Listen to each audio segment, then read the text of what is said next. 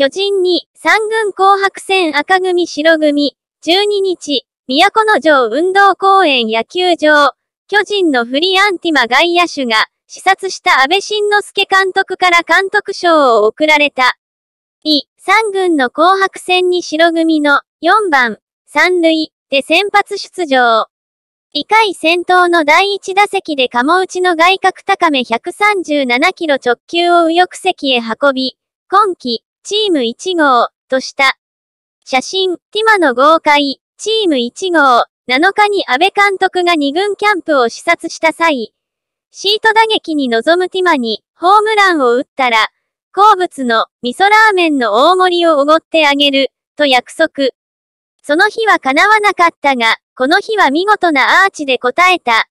監督賞として、味噌ラーメン代3000円が贈られたといい、本塁打を褒めてくれたこともとても嬉しかったですが、ラーメンをおごってもらえることが一番嬉しい。